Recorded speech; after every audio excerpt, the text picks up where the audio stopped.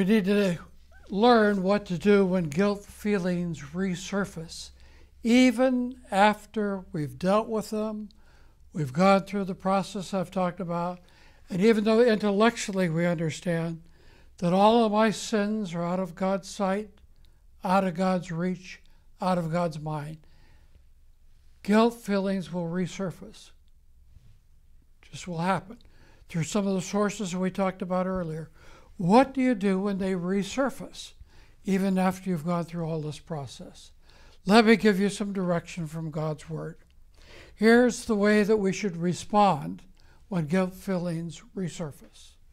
First of all, recognize that the author of those memories from the past is Satan.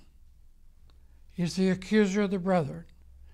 And we must recognize where they're, where they're coming from because they're certainly not coming from God. But where are they coming? Maybe Satan's using other people or situations, but fundamentally and at the root, there's Satan because he's the accuser of the brethren. And he wants to keep you pinned down with feelings of guilt. And if he can do that, he knows you're not going to be effective for him or for Christ or for his kingdom. So recognize that. And somebody said when Satan reminds you of your past, you remind Satan of his future. And you resist him in the name of Christ. Secondly, once I recognize the author, is I resist Satan's accusations. How do you do that? Well, you don't let him set the agenda.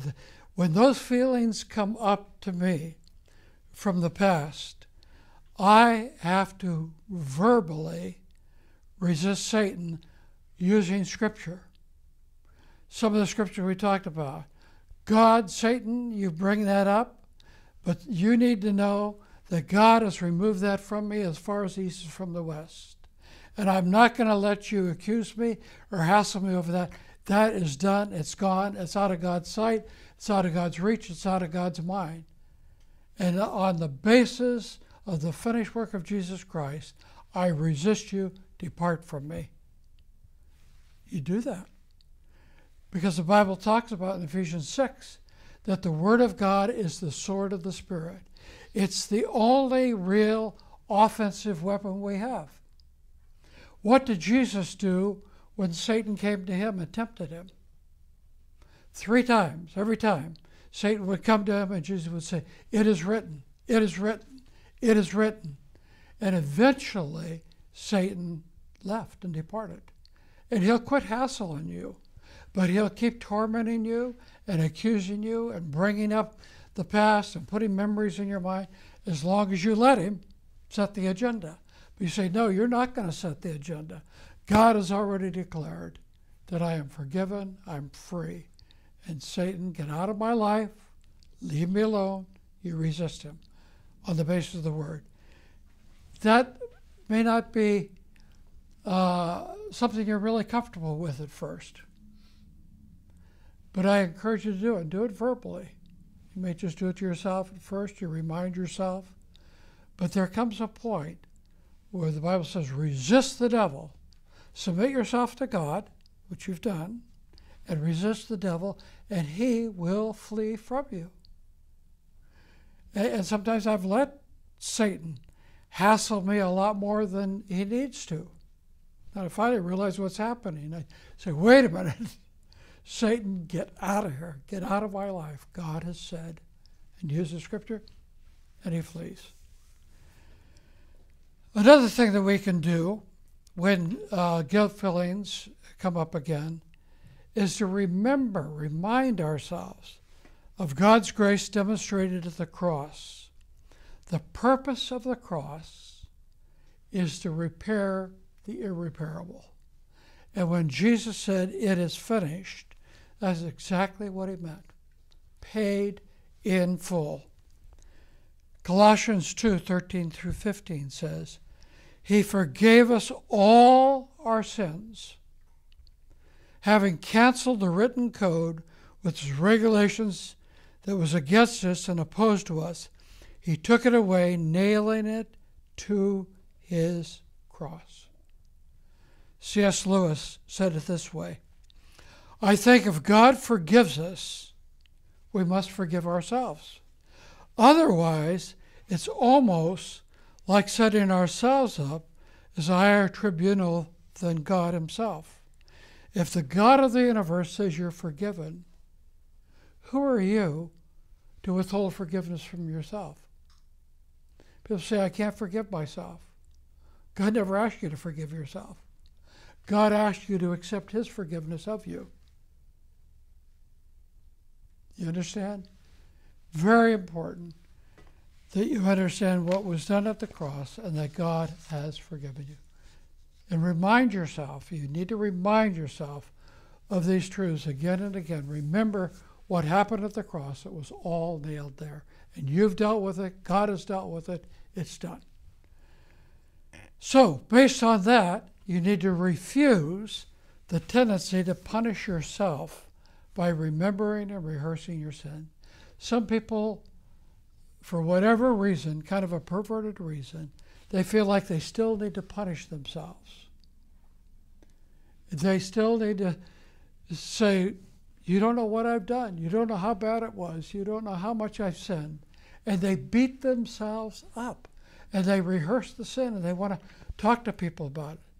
And I tell people, Stop it. Stop it. Why are you punishing yourself? Making yourself pay. Are you saying that what Jesus Christ did on the cross for you was not enough? And you have to add to it by punishing yourself or doing penance? No.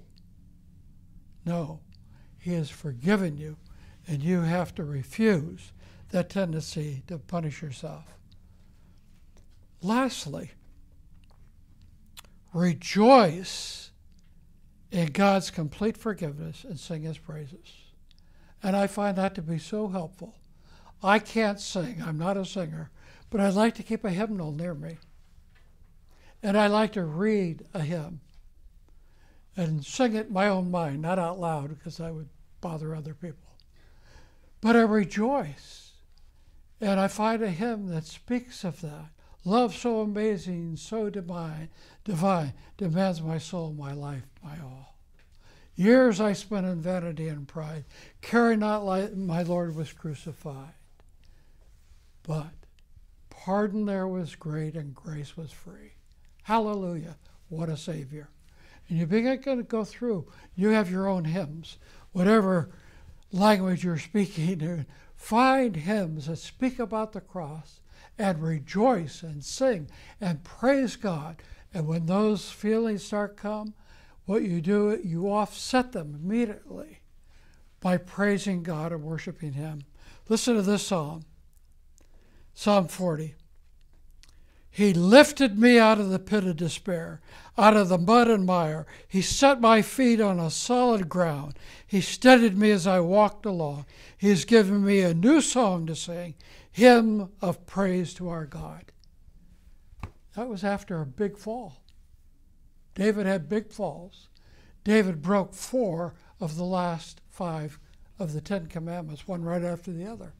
He writes these Psalms. Bless the Lord, O my soul, and all that is with me. Bless his holy name.